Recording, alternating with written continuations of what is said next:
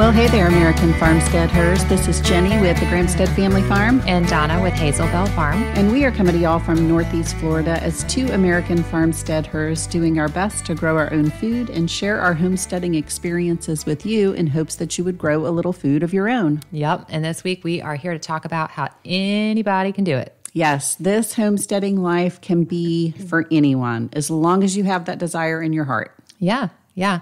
We always say homesteading is a mindset. It totally is a mindset. It's way more than a massive garden and a cow.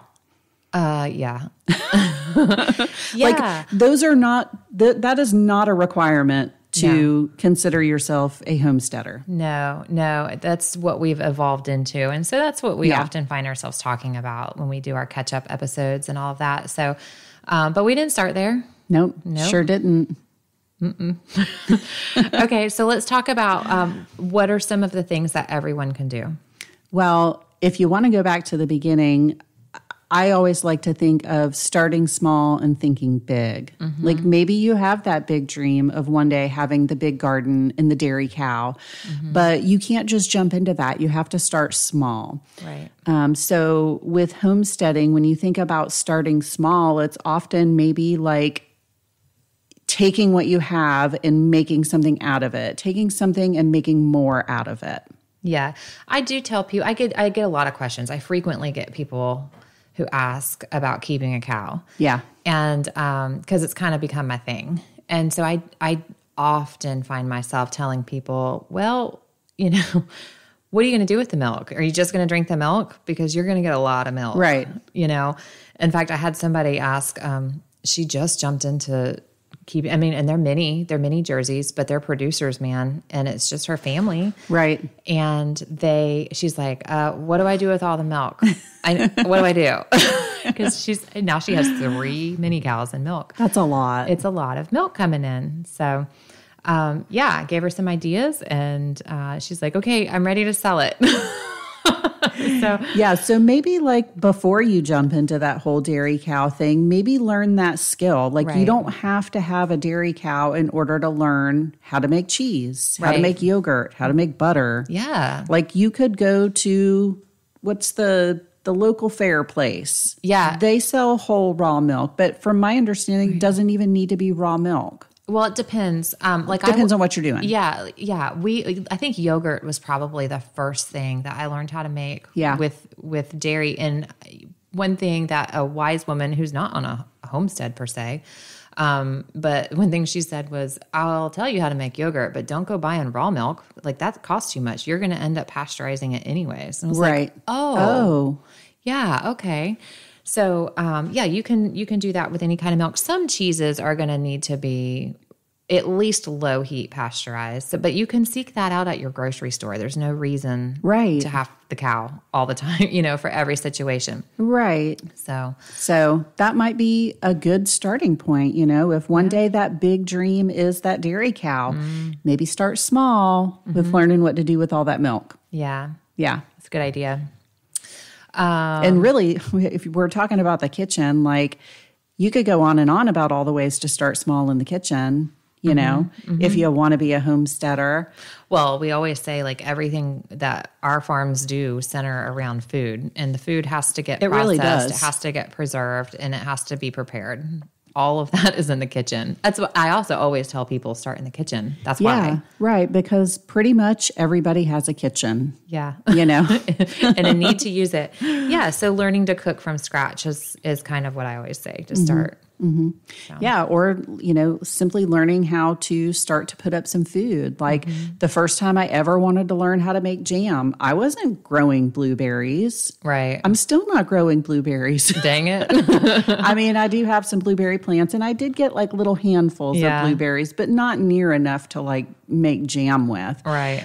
And um I mean, this was probably about 10 years ago. I wanted to learn how to make jam. So I went to Walmart and I bought frozen blueberries yeah. to make jam with. And you know what? I made jam. Yeah, there's nothing wrong with that. There's nothing wrong with that. I mean, it's learning a good skill mm-hmm. while you're waiting. Our first jam experiment. Uh, this is actually kind of funny. I have I have two stories.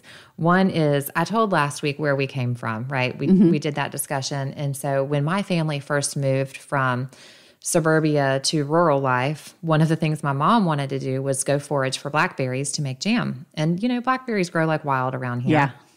So that's what we did. We did, it was family day, and we went, you know, traipsing through the woods, finding blackberries, and worried about bears and worried about wild hogs. and of course, this is like the memory from a child, Right. so it probably wasn't that uh, Probably wasn't extreme. that dangerous. Yeah, not that dramatic. But um, we did. We picked a bunch of blackberries, and um, I think we ended up. Something happened with her jam, but you know, again, we were learning. She was Right. learning, and we ended up with more like a syrup. We Yeah. used it like pancake syrup. Um, as an, a young adult with a young family, I wa- I returned to that. I want to make jam, Mm-hmm. and so we went out blackberry foraging through our hunting woods and brought back a bunch of blackberries, but it wasn't enough to make jam. I think we were late in the season, Right. Early or late, something like that. And you know, we were out there long enough to make family memories of sweating and thorny and you know all of that fun stuff. But um, didn't have enough. So we went to the grocery store and bought blackberries. And i remember like comparing i think we took a picture of those that we foraged really tiny. Right. and those that we purchased you know because they're all hybrid varieties and Right. grown on big farms or whatever. On they steroids. were giant. Yeah yeah. So um, yeah. And we made blackberry jam for the first time. And that led into oh what else can i do and um, we wanted strawberry jam. Then we took a vacation somewhere to the mountains where there's like an Amish community and went shopping through their little store. And it just had my wheels just a turning in my head, you know. Oh, oh, we can like combine berries to make Right. to make another flavor jam. And so that really that really was our start. I don't think we've purchased a jam or a jelly since then. Right. So, and that's been, oh my gosh, 15 years. Right. So, Yeah. pretty so cool. Yeah, anybody start anywhere. do that. Yeah. And, now, last year, we grew enough strawberries to make our own jam that we didn't purchase strawberries. nice. However, I've killed a lot of my strawberry I know. I killed so many strawberries. I ah. just, I'm so bad in the summer. I just Yeah. don't want to go into the garden when it's 105 degrees. Yeah. And they just didn't get watered. Yeah, mine mine just fried. A lot They of them fried. did. I, I have some, but most of them fried. So I, I have to buy strawberries this year. Yeah. But I'm learning. I know. I'm learning. I think Still, this we're year, still I know, learning. We're always learning. We're still failing. We're still learning. Yeah, failing forward. this year, I think I'll put shade cloth over them Yeah. That's a great idea. Mm-hmm. and maybe mulch them better Yeah. with some straw mm-hmm. And then maybe water them, you know. every now and then. All living things need water. Yeah, so you know, making making stuff that you didn't grow or preserving stuff that you didn't like. Heck, I also just bought a whole box of cucumbers over the weekend to make pickles because Did I have you? yeah, because I have these sweet girls coming over eating up all my pickles. Like I catch them carrying jars out of the house on their way home. You know, and you're like, hey. And I'm like, guys, you know, there's pickles at the store. And they said, but they're not as good as yours. Uh-huh. so it's sweet. So I'm like, all right, All right. I'll make more pickles. I'll buy pick, I'll buy cucumbers so you can have pickles. Right, Yeah. right. So, I mean, you don't necessarily have to grow it all to preserve it. Exactly. Um, and that's like same thing with like rendering lard. Mm-hmm. Yeah, like I mean, if you can learn to render lard and Mm-hmm. have jars of healthy fat Yeah. in your refrigerator, Yeah. you know, waiting to use, that is an excellent skill to learn. Yeah. And you can ask a butcher for extra Absolutely. fat. And oft, oftentimes they'll give it to you. Yeah, You don't even have to buy it. Yeah, It I mean. I've seen it in the um, uh, in the Nettles Country Store. Mm-hmm. They package up fat for people to buy, and it's super, super, super cheap. But it's that good cut of clean fat that you want for rendering lard. And rendering lard is so simple. Mm-hmm. It is. It is so simple. I mean, like literally, you can do it in a crock pot, Mm-hmm. and that's all you need. That's all you need. You need crock pot and lard. a knife. Yeah. That's it. Cut Yeah. it up. Yeah. If you don't know, like uh, also tallow, beef beef, Beef fat, tallow, yeah. you can render down to tallow and do it the same way. You just cut it in small pieces and cut any bits of meat off, Yep. any connective tissue out. So it's just the fat. Right. Load up your crock pot. I put a little water in the bottom. I put of it, mine. yeah, I start with like a quarter cup of water. Right. Yeah. And um, put that fat in there. Low and slow is the name of the game on that one, and Mm-hmm. just just let it go and go and go and go. I have learned to uh, run it through a meat grinder instead Okay. of spending the time cutting it. Okay. Um, it's a little tricky though because it's so Yeah. like squishy. It is a little bit faster, Mm-hmm. but then you have to clean your meat grinder. Yeah, That's had lard gone through it, that is true. which takes like a half a day. I also like to do um, a submersion blender. Okay. That works. That's really a good well. idea. Yeah, A little Once- easier to clean than the meat grinder. Yeah, once it starts to cook down and soften a little bit, you can you Okay. can you take it to it and Okay.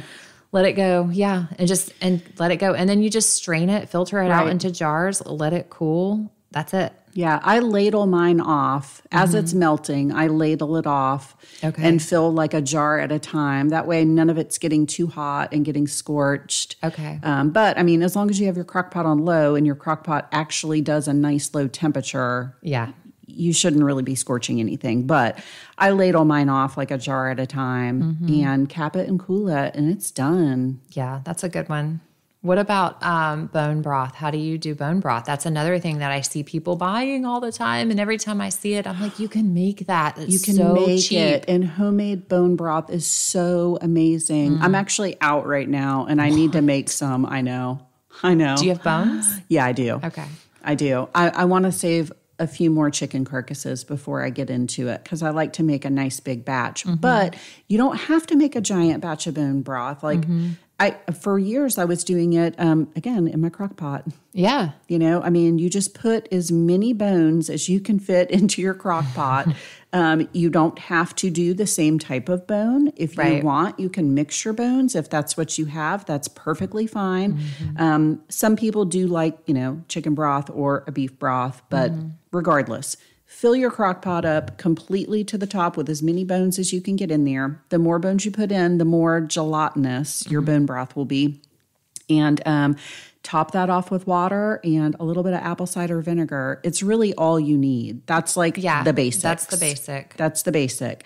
If you want, you can add any type of greenery that you have from the garden, any Yeah. type of herbs. It, it doesn't really matter. You can put any type of vegetable in there or any green in there. It doesn't matter. I think every time I make it, it's different. Every time it's different. Yeah, Yeah. When I do a big batch, like after processing chickens, um, or like I'll do a big batch because, you know, we got beef in from the processor. Right. I've got a bunch of beef bones and I'll do those in like a big countertop roaster oven. Yeah. So if you roast those bones first, Yeah, the roasted Mm. bones are really good. If you yeah, yeah, if you roast them with like some olive oil Yeah. in the oven, good stuff. it gives it a nice flavor. Yeah. So I'll do like the basic for that. Yeah. Um, when I cook a whole chicken, I save that whole carcass. Yes. I stick that. I use the instant pot for that because it does it in like two hours. Okay. Um, and I also keep a running bag in my freezer, in my kitchen freezer. Yeah. A gallon size Ziploc bag of vegetable scraps. And so it has carrot peels and tops. Right. It has onion, Onion. peels. It has garlic peels. It has, um, you know, whatever, odds and ends kind of stuff, um, vegetable, veggie things. Um, maybe stems from a sprig of rosemary you know, that I use for something else. And I just throw it all in there. When that bag is full, or even if it's not full, like if I have a carcass to do, I just empty all of that in with the carcass and cover it over a little vinegar, turn it on, let it go. And then since that's only going to make me like a gallon, Right. You know, I don't try to process that to for shelf stability at all. I just, you know, pour it in jars, save it in the refrigerator, use it throughout the week. Yeah. Um, it it makes a very quick like breakfast for me when I, before I go out and do chores in the morning. I love Yeah. that. I love that. That probably keeps you nice and warm. It's right now, yeah. Yeah. It's nice. it's nice. Yeah. So, So, yeah, again, broth, like, like- bone broth, like yeah. it- it's taking something that you already have Mm-hmm. and making something out of it. Right.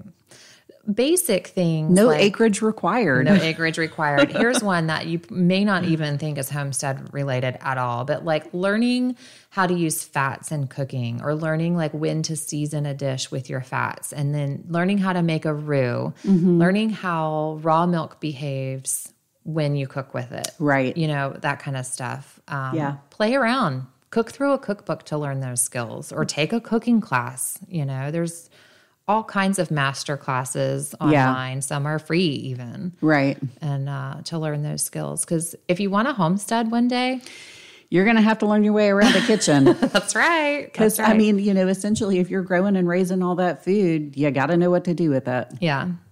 Yeah, for sure. Yeah. Um, I have a quick cheese recipe I can share. Oh, yeah, we please do. Yeah. Okay. So um, this is actually from the Prairie Homestead, and then I double it.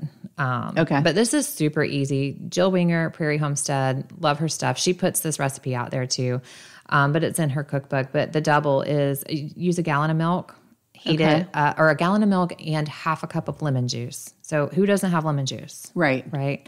And I think this works with your regular pasteurized milk too. Okay. Um, it's a whole milk ricotta, is what it is. Okay. Heat the milk to it. She says 190. I think I find like just under 190. Um, now, is your pan important here? I use a heavy bottom stainless steel pot. Right. So you're not going to want to scorch the milk. That's right. the trick. Right. That's the Okay. trick. Yeah. And you don't want to go over 190. This is one of those things like when, you know, your grandma taught you to make some kind of pastry and you ask her, How long do I need it for? She's like, I don't know, feel it. Right. this is like that kind of experience. So um, so do you heat it with like a long thermometer in there? I do. Okay. Yeah. And I just let it Yeah. sit. But I like I said, it's usually just under 190. Okay. You're watching for the behavior of the milk. So it's going to start steaming. You don't want it to boil. If you go to boiling, it's too much, but it'll just start to get like foamy, bubbly on the top. Okay. Turn the heat off. Okay. Let it sit for like five or 10 minutes. And you'll start to see these like pillowy, cloudy uh, clumps Okay. float to the top. Um, at that point, you can either scoop them out into their own bowl or just pour the whole thing through like a cloth lined strainer, which is what I usually do. Um, it's not super finicky or fragile or anything like that. So I just dump it out and then put the solids that you've strained out back into a bowl or a pot, a teaspoon of salt, mix it up real well, chill it, and you have a whole milk ricotta. And it's easy. It tastes so good. We've started seasoning it with um, like a ranch mix. We call it our ranch Yeah. ricotta. Yeah, it's really become good. Very popular here. So It's really good. I mean, I know I risk like putting it out, but I don't care. Like you can do it. I want right. people Whatever. to know you can do Yeah. it. Um, we've done like a French onion flavor. Ooh. That's really good. You could probably do all kinds of different flavors with that. Yeah, Montreal steak seasoning. Yeah. It's good stuff. Get tomato basil. Oh yeah, Yeah. Makes a good spread. Or you can use it in a dish. Like we'll use it in a baked spaghetti or a lasagna or whatever your ricotta. Right. Your recipe calls for ricotta, so Hmm. it's good. Yeah, that sounds really good. I'm going to have to try that. Anyone can do it. Anybody? Milk, lemon juice, salt. That's all you need. Nice. do it. um, so let's see here. What about actually growing your food? yeah. Yeah. I mean, I start somewhere. Start somewhere, start small. If you don't have any outdoor space, what about microgreens? Mm. Yeah. We talked to our friend Charlene Yeah. Uh, a few months ago. She came on the podcast. You can go back and listen to that, but she's got a lot of good tips about microgreens. I'm seeing now the popularity of growing them yourself because there's like a whole microgreen setup at our local hardware store now. Oh, really? Well, not not like a setup, but like in their seed display. okay. They have a whole shelf of microgreens bulk seeds. Interesting. I was impressed. Yeah. and this is right down the road. Right down the road. Yeah. Yeah, in our little town. That is so cool. Yeah. We're going to have to go seed shopping soon. Yeah. I'm ready for it. I'm ready for it. Yeah, so microgreens is a good a good I mean, you can do that in an apartment. Exactly. With, uh, you know, in a tray Mm-hmm. on your kitchen counter. Like those trays are literally like what, maybe They're 12 by 24? I don't know. They call them 10 by 20s. 10, is- 20 is trays? That, does that mean 10 inch by 20 inch? I have no idea why they call it a 1020 tray. I mean, I'm a pretty successful gardener, but I don't have any idea why it's called that. I have no idea. Anyway, yeah, it's a 10 by 20 tray. yeah. And you can you can grow a bunch. Yeah, so super simple.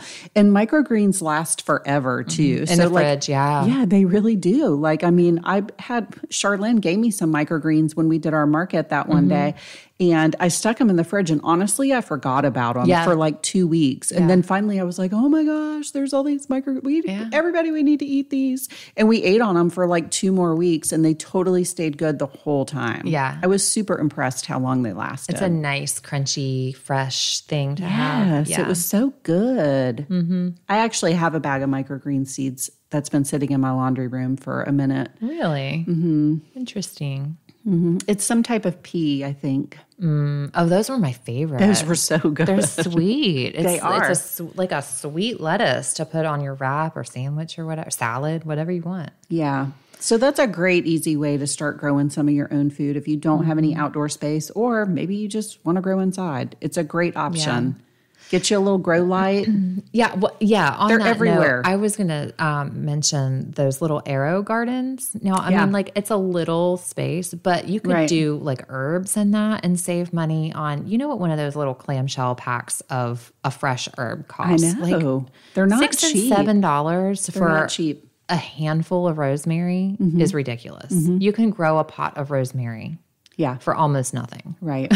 so yeah. Have a little small container garden for herbs in the kitchen. yeah, You know? yeah. Get a little sunny window, a little sunny corner of the porch. Yeah, herbs herbs is a good place to start if you're afraid to garden Yeah. or don't think you don't have the space to garden. Hmm. Um.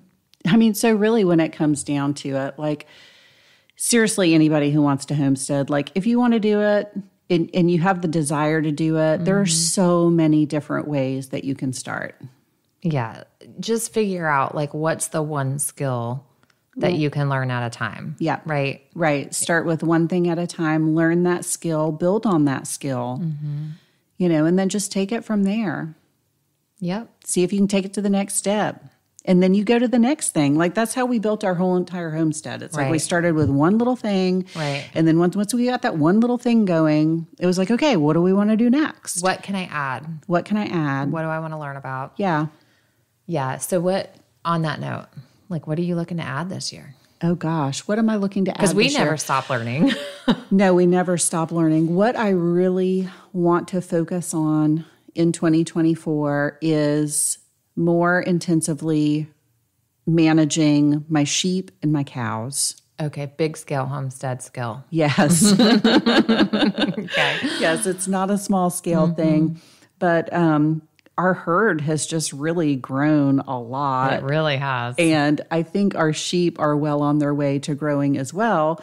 And um, I came to the realization the other day that I was like, wow, I mean, if I really started like managing that a little bit better, it, it could be a lot more productive. So um, I've got to figure out a water situation. If I want to intensively graze the, graze the cows a little bit more, yeah, I've got to find a way to get lots of water all the way to the back. I wonder So- if you you were talking about um, you know, figuring out the electric Yeah. fence to do that, like movable electric fence. Yeah. And um, instead of worrying about moving water, if you could run a lane up to their existing water, like along the main fence, you know? Right, right. Yeah, I had thought about that too because we have that central artesian well in Mm-hmm. the pasture. And so right now, all of the pasture space that we have, it, it all connects to that. Right. So yeah, I mean, you could essentially just feed off like a hallway almost. Right. You know, Yeah, exactly. it's doable. It's just big. It's doing it. It's doing it. It's it's figuring out the logistics of it of it. So and then, then, it's one field at a time, Jenny, just doing the next step, right. right? It's starting small Mm-hmm. and thinking big. Exactly. Yeah. Yeah. All right. I got it. I got it. I had this I had this realization this week. I think I texted you. I, I think I don't remember if I texted you or not about this, but I was like, I was milking cows the other morning and went, "Wow, Right. where have I come from? Right. Like how did it how did all of this happen? How did this happen?" Right? Right, And I just like I just wanted to milk a cow. right. It wasn't that long ago that we were both dreaming of being where we're at now. And Right. it's like, wait a second, Yeah. how did all that just happen? God I know. and hard work. Right. Yeah. yeah. And starting small. Starting small, thinking big. Yeah. Um, one big lesson I've learned as we've built the homestead and have come this far, is, and I think you'll agree, is learning when to say no. Yeah. Like, oh, oh, there's a good deal. Oh, oh, I want to do it. Oh, I want to, you know, oh, I, we can do it. It's available. I, I can use some savings, like whatever, whatever. Right. If it's not right, right. it, you know, if you have to make it work, it's never going to be right. Right. Um, so learning when to say no has has become big for me. It's hard. I don't want to say no to anything or anybody. Right. I want to be able to do it all. Yeah. One thing I, and I didn't even read the whole book, but it's called Your Best Yes. Mm, you yeah, know and i kind of read like a little bit of a blurb of that book and it really like resonated with me like mm. don't say yes unless it's your best yes Right. because then you're just going to go into it with a bunch of regret and a bunch of problems and headaches and right. so that has really stuck with me over the years like it's Yeah, got to be your best yes It's that whole like when you say yes to something, you're saying no to something else. It's very true And we we normally think of that like in the con, in the context of our families. Yeah. Like if I'm going to take on another responsibility, it's going to take away from my children or my Right. husband or my you know whatever. right But on the homestead, if I say yes to another milk cow that I really don't need, I just want it or it's a good deal or whatever, right that's saying no to garden time Garden time. in the morning. Yeah. Right. And which true. is essential to be in the morning in June. Right Right. right because if you're not out there in the morning you better forget about it Yeah. And guess what happened this year in June? I didn't garden and my whole garden went to crap. yeah so um, yeah, that best yes is a, is a good a good I should read that book i know in my It's- spare time. It's probably an amazing book. Yeah. I thought you meant you'd read it and you were recommending it. No, no, no. I said I have not read it. Oh, okay. But no, I read like an excerpt from it. Oh, and that was good enough. And that was good enough. I was like, all right, learned. I got it. I bet you know I have to get back to Audible or like I'm audio. not a big reader. I I love to read. I just don't find the time. It's Yeah. just not the priority, especially now that like we're keeping up with our website better. You know, I, Right. I don't have the time to sit and read. So audiobooks, Yeah. I think I need to revisit. Yeah, for sure. So Yeah. So I guess really just find something that inspires you and interests you and just Mm-hmm. do it. Just learn it. Don't wait. You don't need the acreage. one skill at a time. You don't need the giant garden. Like, just start now. Mm-hmm. And then when you finally do walk into that dream, you will be well prepared and equipped. Yeah, and then you can build And upon that. build, yeah. Even if it's that same one skill. If you Right. finally decide to make a garden and you do it and you do it well, then you can expand it instead of adding something else. Like we're saying, you can just expand that garden. Yep. So options. I always say options are good. Options are good. All right. Well, we will talk to you guys next week. so, yeah, y'all stay encouraged. And um, this homesteading life is for everybody. It is. It's for everyone. Yep. Get out there and do it. Yep. All right, y'all. Bye. Bye.